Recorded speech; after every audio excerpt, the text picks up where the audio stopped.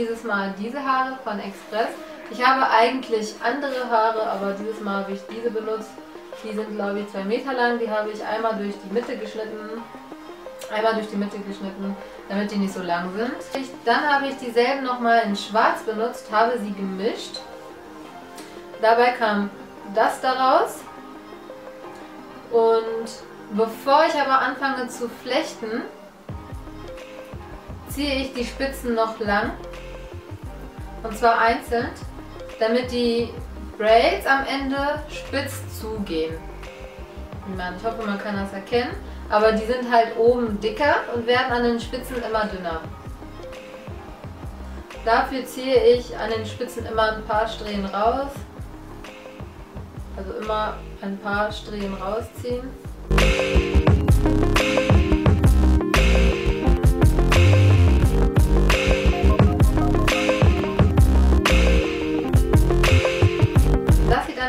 Dann so aus.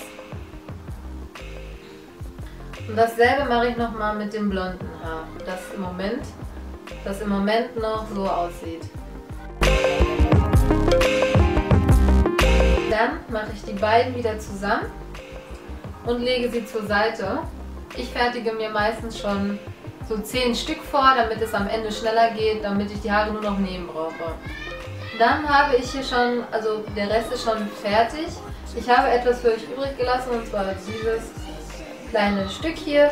Das werde ich in drei Braids teilen. Dann kämme ich sie gut durch. Und teile sie mir in drei. Ein Teil habe ich mir jetzt abgegrenzt. Das sieht so aus. Nehme sie mir so zu zweit, also nur eine Strähne. Nehme sie mir so in die Hände. Packe da so rein. Und man kann es sehen. Und die anderen packe ich außen. Also ich tue meinen Daumen und meinen Zeigefinger da rein und fasse und fasse das andere mit den restlichen Fingern. Nehme mir dann einmal eine Strähne, ziehe sie da durch, sodass sie einfach nur ähm, da drum ist. Ganz simpel.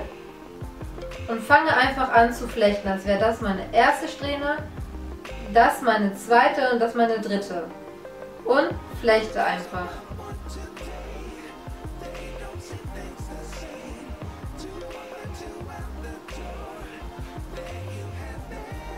Dann teile ich ungefähr, nachdem ich zwei, dreimal geflochten habe, teile ich das auf und nehme das blonde Haar, eine blonde Strähne zu, dem, zu meinem echten blonden Haar damit das, damit das am Ende nicht so auffällt.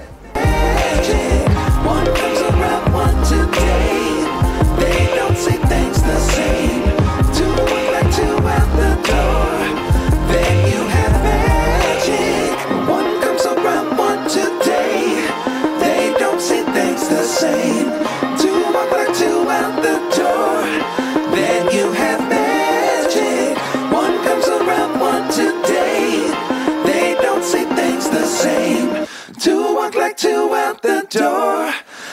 you have been.